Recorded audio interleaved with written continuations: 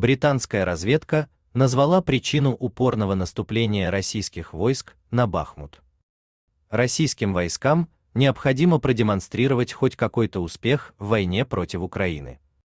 Они упорно пытаются взять Бахмут силами ЧВК Вагнера и выпущенных из тюрем заключенных.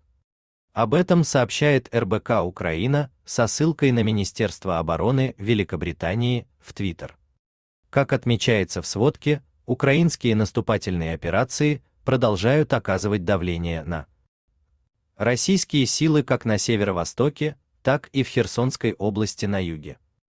Однако Россия продолжает уделять первостепенное внимание собственным наступательным операциям в центральном секторе Донбасса, особенно в районе города Бахмут.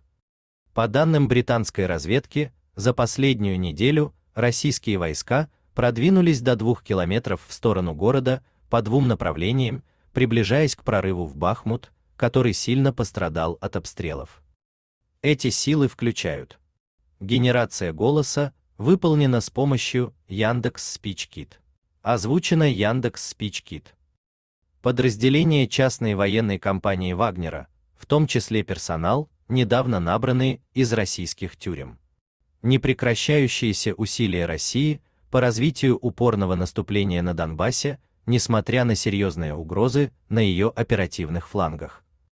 Подчеркивают необходимость достижения оперативного успеха, а также подчеркивают негибкий план операций, который до сих пор подрывал ее намерения, говорится в сообщении Минобороны Британии. Напомним, по данным британской разведки, Украина активизировала свои наступательные операции на северо-востоке страны. Части продвигаются как минимум на двух направлениях к востоку от рек Оскол и Северский Донец, где группировались силы ВСУ после предыдущего наступления в начале сентября. Срочные и важные сообщения о войне России против Украины читайте на канале РБК Украина в Телеграм.